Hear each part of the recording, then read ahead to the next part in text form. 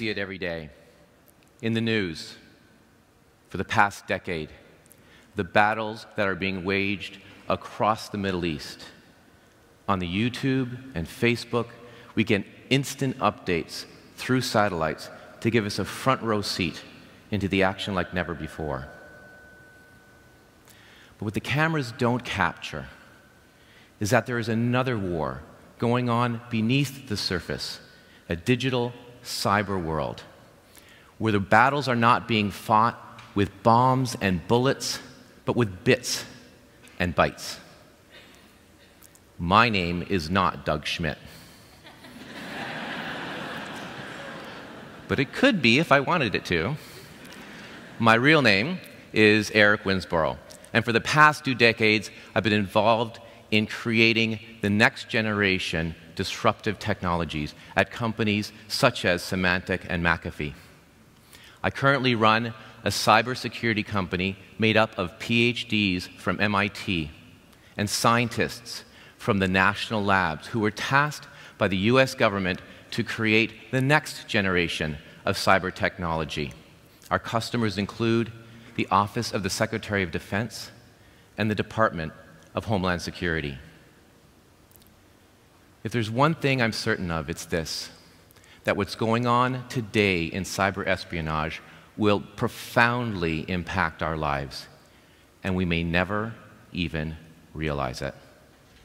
If you think about it, a lot of technologies that impact our lives have been coming from government sponsored research into next generation defense technologies. Last generation, the Cold War created technology such as the computer, satellite communications, and navigation, and even the internet.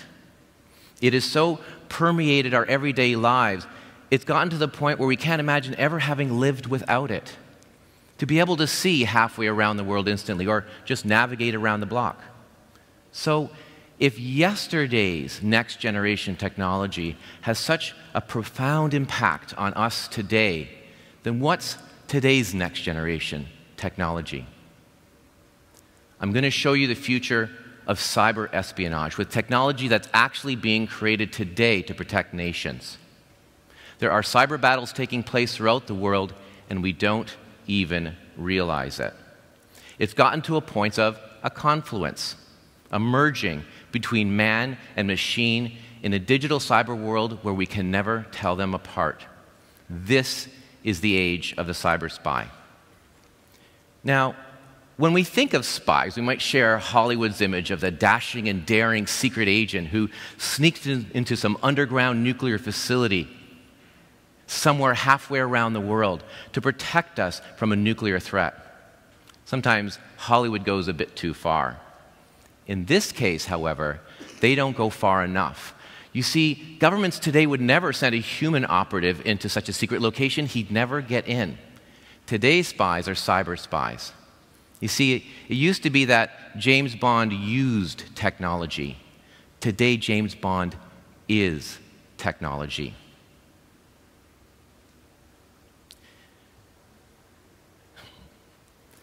I want to walk you on a journey into the future.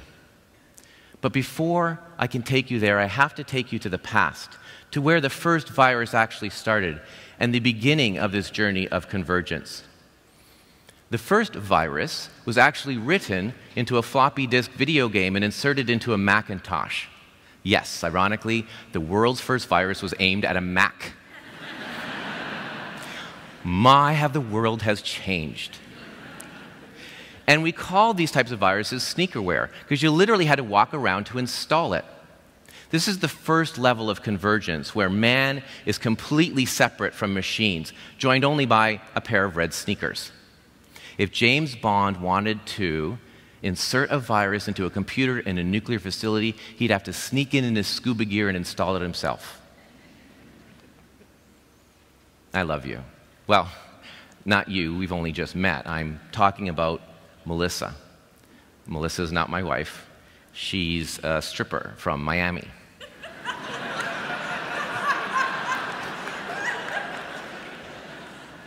you see, around the year 2000 or Y2K, the Melissa virus named after the virus writer's favorite stripper from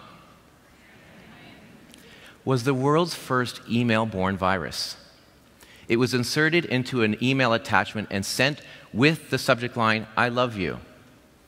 Once the attachment was opened, the process repeated itself, and within three months, the world's email systems were clogged up, inadvertently becoming the world's first spam.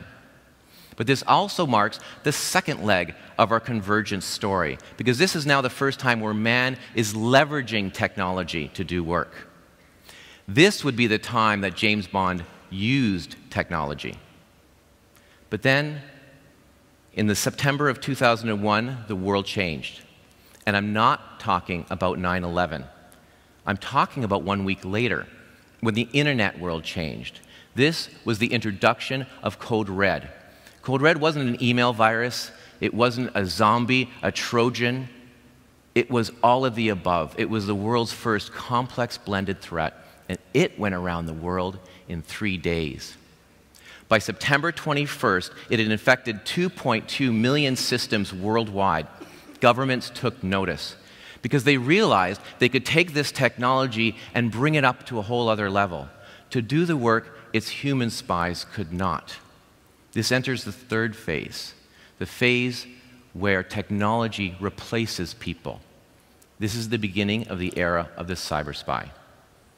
I'm going to tell you a little bit about this, how this cyber spy technology works. I'm going to take you on a real life mission that happened just before the end of last decade, way off in the Middle East. You might already have guessed its mission to sneak in to an underground nuclear facility halfway around the world to protect us from a nuclear threat. This is the Natanz nuclear fuel enrichment facility in Iran and so is this from space.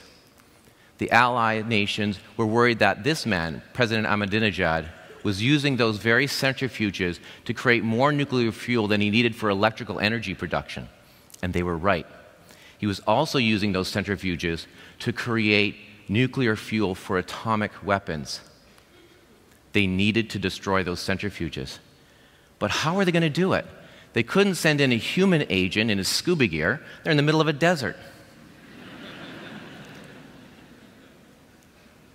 and they actually debated sending in fighter jets to drop bombs and blow the place apart. A little messy and not good PR. I mean, imagine the fallout. yeah, I know. I know, I know. You, you just wait. So instead of dropping a bomb, they dropped a bug. Very clean. It was a, they called it Operation Olympic Games. What a great name for such a clean operation. I was here for the Olympics in Vancouver. It was clean. It was fun. It's a great name. It's a great name. You know, if they wanted to stick with their old plan and set fire to everything and have fallout for years, they would have called it Operation Stanley Cup.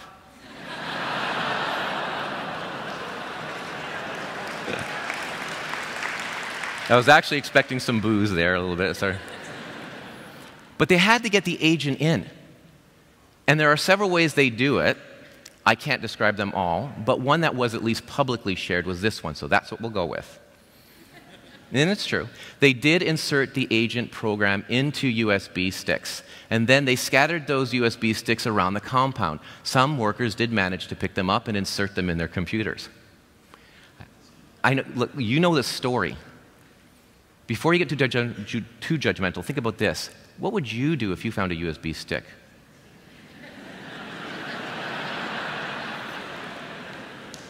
Think about that the next time you go to a trade show and some stranger from marketing, he says, hands you a USB and says, read my collateral. I don't know how many security trade shows I've been to where that's happened. Now, that is a different story.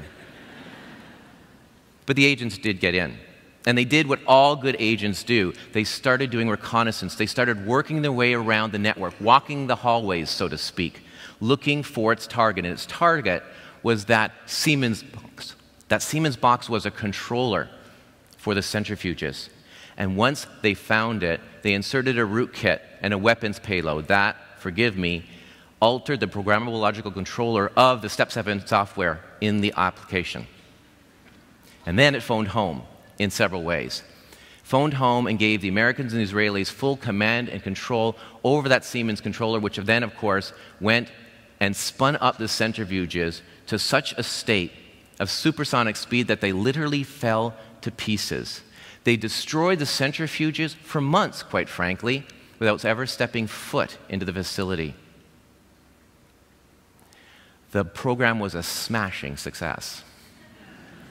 Ahmadinejad was beside himself. He was firing his best scientists because he thought they were incompetent. One small problem, though, the Allies spent so much time trying to get this agent in, they didn't think about what if he actually got out. and bits of the program actually did. And it did its job. It started searching its way for other Siemens controllers, first in Iran, then the Middle East, then Europe, and all the way to the doorstep of the nuclear facilities in America. Now, before we get a little nervous, this spy knew its programming. It was told to look for a specific signature of that controller in Natanz, so it didn't do anything. However, its cover had been blown. The security industry, chiefly a researcher from Kaspersky Labs, found it and what was once a covert operation to protect us from a nuclear threat became known as the Advanced Persistent Threat Stuxnet, in case you've ever heard of it. Now, there are battles like this going on all around the world, and even in our backyards, and we don't even realize it. The Chinese are particularly good at this. That video you saw earlier, that's just marketing. You don't see what else goes on. So let me explain a bit. Last year, the Chinese successfully hacked into the RSA security company through the HR department. And like Stuxnet, they weaved their way around to find what they were after they found the confidential customer passwords for secure ID tokens. What do these tokens do? They get you into networks like military contractors, Lockheed Martin, Northrop Grumman, L3.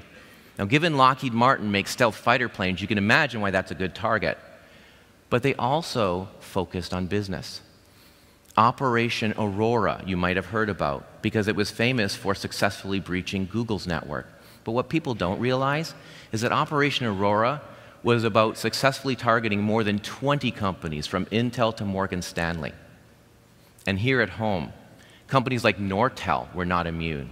The Chinese had CEO level access to confidential information and documentation for nearly 10 years.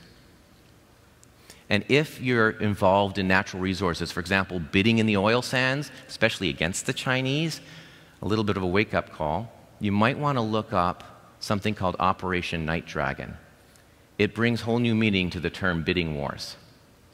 Now, these researchers at Kaspersky who discovered Stuxnet also recently re released a report that said that the number of network intrusions around the world in a single year had skyrocketed from 220 million, now that's already a big number, to 1.3 billion.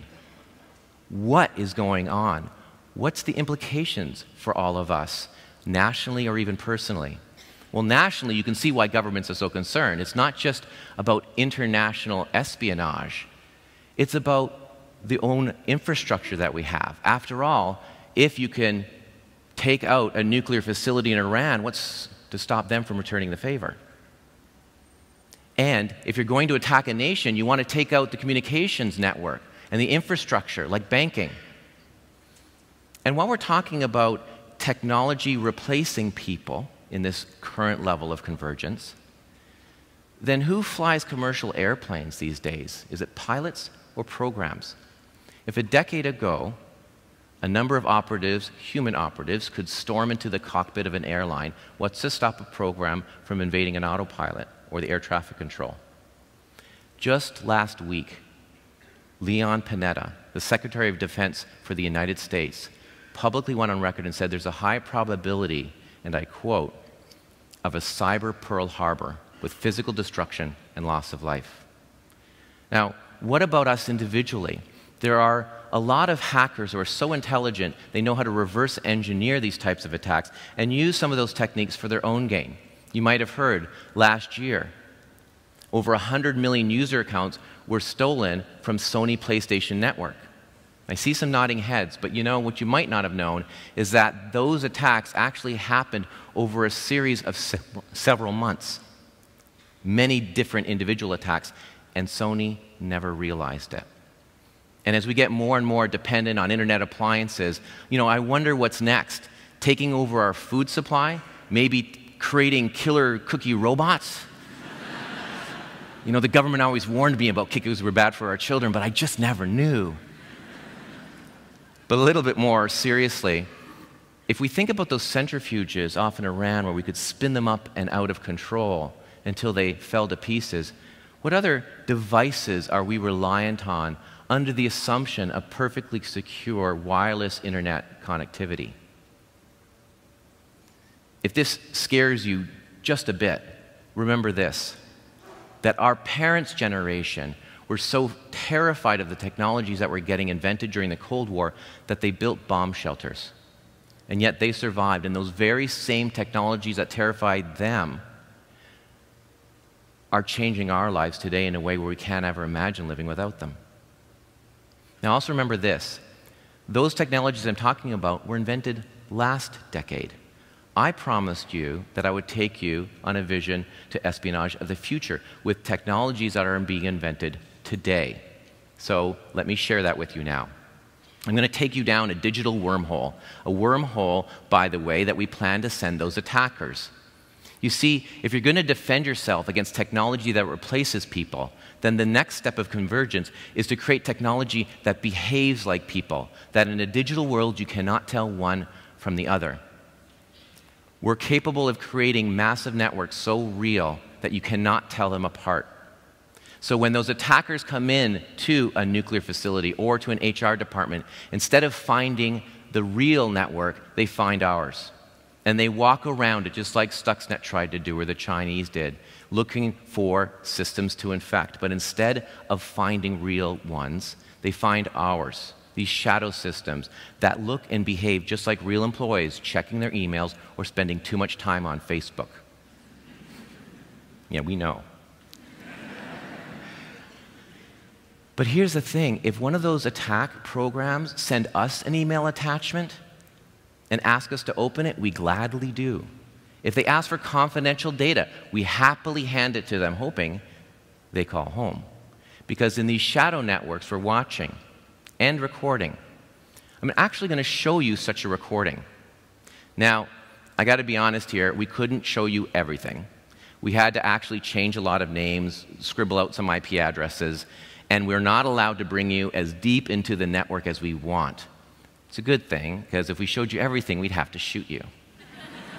or even worse, even worse, make you a government employee. So, this is, like I said, a real video. Those aren't the real locations, of course, but what is real is it did attack, did start in the HR department. It actually did maybe a coincidence. Those are real, real systems, doing emails, real people sending out, backing up their systems, but they're actually impacted with this spy program and we don't know it. So then we turn on our shadow network. These are systems that behave like real. They interlace with the actual systems and they start communicating. In fact, it's the bad guys that communicate to us, into our systems, and we let them. Come on in, send me an attachment. Because when they do that, we have every bit of information because we can't look into the real computers, but we can look into ours and we can see what processes they use and then decide to quarantine the actual system using software defined networking. And then they can't talk out to the real world, and instead we tunnel them down to a shadow HR department that isn't real but just behaves like real, and they can take whatever they want, and we know exactly where they're going. Now, what would we do with this kind of information? Or more importantly, what would James Bond do? James Bond had a license to kill, or at least kick him really hard where it hurts. Now, today, 007 has an ally, Agent 001. So we've come to the end of our journey of convergence of man and machine, of confluence between two separate streams that come together to make things more powerful. We've seen technology go from completely separate from man to leveraged, to replacing man, to behaving like man. What comes after behaving, I wonder? Well, if history is any guide, the question shouldn't be if this technology will one day profoundly impact our lives. The question should be will we ever even realize it? Thank you very much.